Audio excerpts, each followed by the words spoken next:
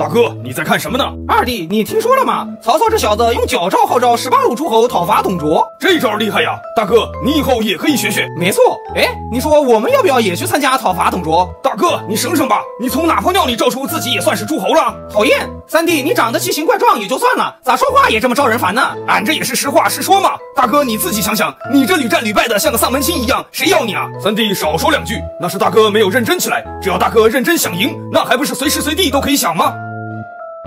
天使云长会说话，三弟你多跟你二哥学学，别文不成武不就的，实在不行就去考个驾照，好歹还能在小煤炉那儿混口饭吃。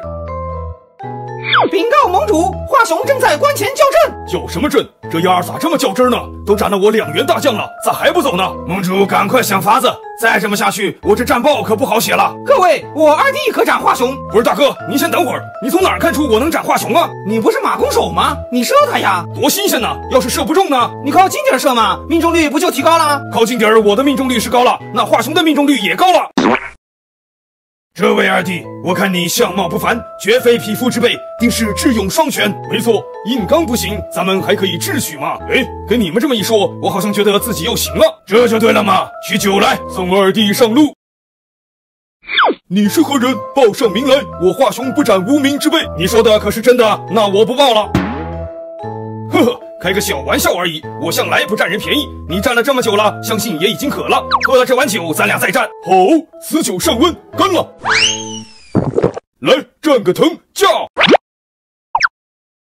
警察叔叔，他酒驾。这这这也太离谱了吧！怎么啦，奉先？十八路诸侯派三个人车轮战华雄，还被华雄反杀两个。这文章的标题居然写什么温酒斩华雄，也没毛病啊！华雄确实是被温酒拉下马的，果然是文字如刀枪。明天我就亲自来会会他们。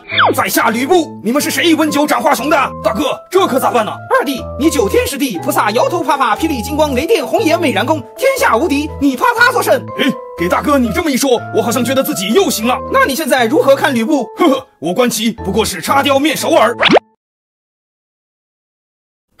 啊，我二弟说的是插标卖首尔，这他妈好歹还算句人话。废话少说，我们决定派刘关张和你单挑，你敢吗？有何不敢？刘关张是谁？让他出来。你答应了，不带反悔的啊！我们哥仨就是刘关张。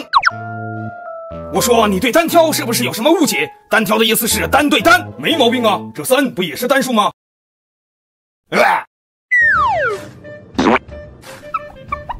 啊呵呵呵呵！三英战吕布。哎呀，这个曹贼果然有才，标题取得贼好了。翼德、云长过关斩将都完成六杀了，你搁哪玩去了？大哥，我也轻松完成好几杀了。真的假的？你小子在哪儿呢？俺在考驾照呢，没想到